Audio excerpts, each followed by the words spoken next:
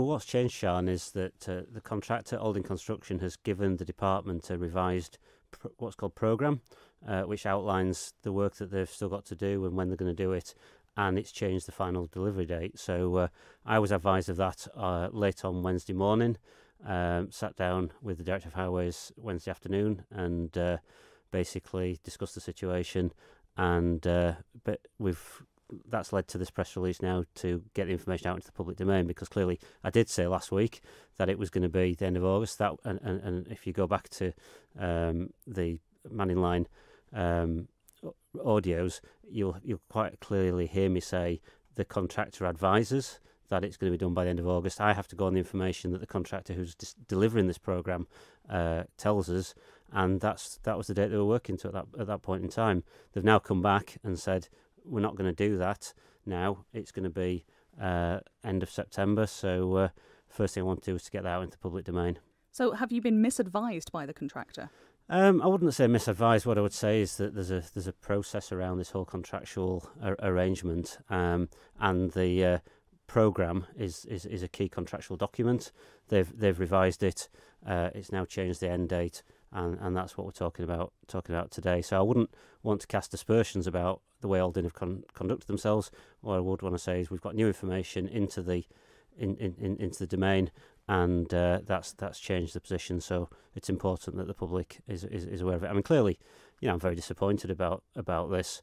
Um, it's not what I wanted to be talking about now. It's, I'm sure the contractor uh, isn't enjoying it either. But it, it, the reality is, we are where we are. It's important that we uh, get that reality out there and uh, we drive on and get this job finished. You did also say on the Mannin Line last week that there would be penalties if that deadline was missed. So, what penalties will the contractor face? So there's a, there's a, there's a proper um, NEC contract around around all of the arrangements between the department and, and, and the contractor on, on this, and uh, there are there's a value uh, for uh, each day uh, that the, the the scheme takes longer. Um, so it's in the contractor's interest to get this to get this finished. So, what's the value for a month? Well, I don't want to talk about precise contractual uh, terms because that's not really what it's what it's about. But it's important that the public does understand that we are not paying more for this longer scheme. In fact, actually, the department is going to take some of the work on uh, effectively to to assist uh, Aldin, and actually that is going to reduce the cost so uh, to the public purse. So.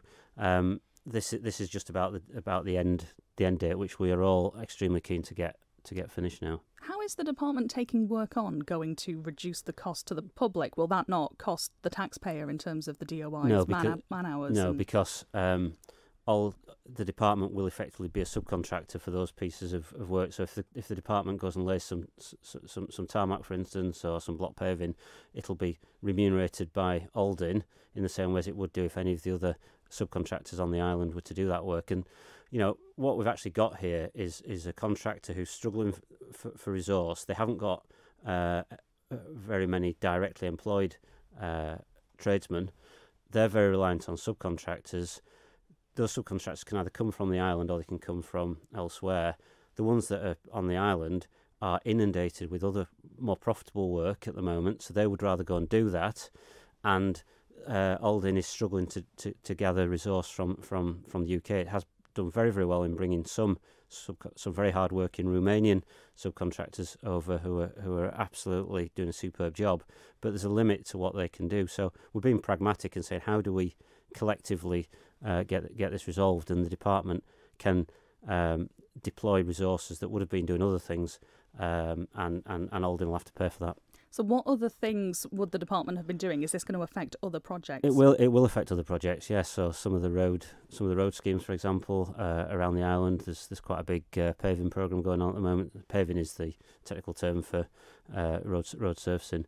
Um, th those will have to be deployed. People, we've only got X amount of machinery and people, and um, the whole the the whole infrastructure of construction on the Isle of Man is under huge stress and strain at the moment. You've only got to, you can see it yourself when you go around and see how many houses are being built, how much uh, engineering activity is going on, and this is an Isle of Man PLC issue, not specifically a, a particular contractor or, or, or, or government.